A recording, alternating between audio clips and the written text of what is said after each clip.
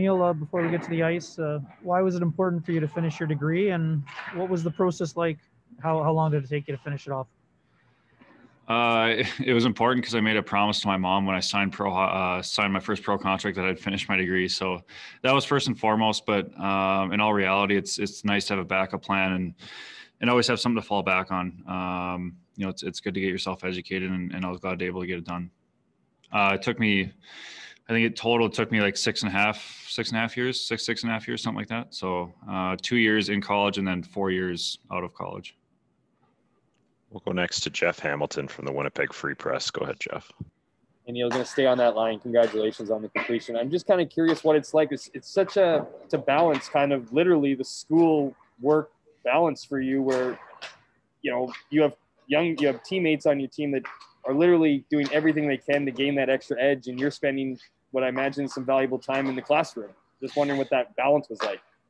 Yeah, it was for me. It wasn't too hard to handle, um, just because coming from college, like we would have five classes a semester and play hockey at the same time. So uh, you flip that to the pro side. You know, I was only taking a class, maybe two at the most per semester. So the, you know, that's only that's only a couple hours a week. I have to log into my classes and, and make sure I get my homework done. So um, I was able to balance that and able to find the time. But um, I think at the same time, it was it was nice to have that that getaway, that outlet uh, to think about something other than hockey. Um, you know, it was schoolwork, so it wasn't that fun. But um, yeah, I was able to get my mind off hockey in that sense too. We'll go next to Paul Friesen from the Winnipeg Sun. Go ahead, Paul.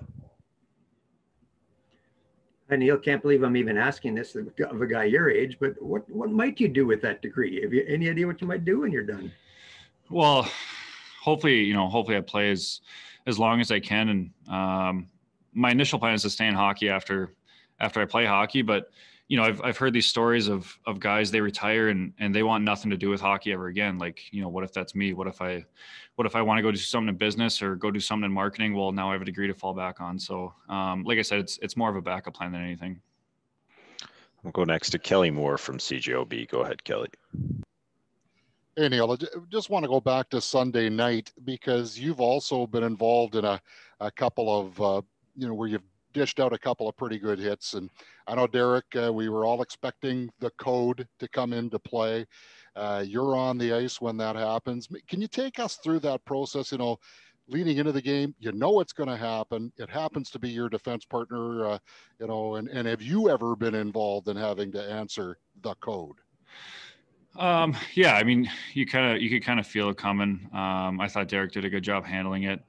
Um, have I ever been involved in that? No, I don't. I don't think so. Um, well, I guess I guess I've been on the flip side of that, where somebody I guess run my runs my teammate, and, and I got to go make sure they answer the bell. But um, yeah, I thought he did a good job with it.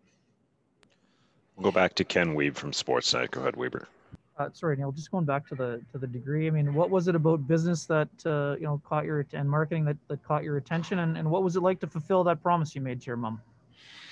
Um, I think the the business and marketing thing, um, just it just kind of came naturally to me. I guess my mom has a marketing degree, and and uh, my dad's uh, involved in business as well, so kind of been around that aspect my whole life, and and uh, I think it was really fulfilling. You know, um, I remember sitting down at the at the dinner table having that conversation with my mom and dad, deciding whether I should turn pro or not, and and that that was obviously a con in the con side. Like it's going to be hard to finish your degree, you know, if you leave school now, and and it's going to take a lot of time, and and not only that, but a lot of money. So.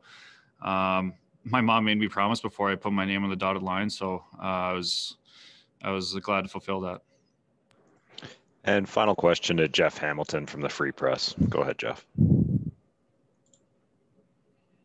Hey Neal, you're playing some incredible hockey, but I'm going back into the the, the degree thing here. Just curious, what your favorite? Uh, were you a typical? Like, obviously, you're not a typical student, but you know the relationship with your teachers. You're in the National Hockey League. Did you ever have that moment where it was like, "Holy smokes, I got a project due tomorrow, but I also got a game"? Like, kind of looking for that kind of insight. And also, since it's business, uh, you know, is there any concern for your agent when it comes to negotiating your next deal?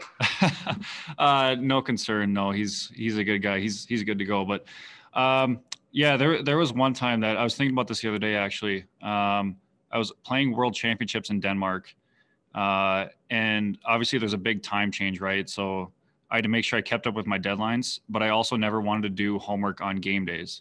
So there was one night I think I was over there and and I found out that I had a paper due the next day, and obviously I wasn't going to do it on a game day. And at, at World Championships, you share a room, and I happened to share be sharing a room with Jordan Oesterle, um, and I had to type a paper, but my I felt like my laptop was making so much noise that I, I literally went and sat in the hallway at like midnight and typed a paper out. Um, it didn't take too long, and I wasn't up for too late, but it's just kind of bizarre that I had was at World Championships sitting in a hallway typing a paper uh, before one of our games.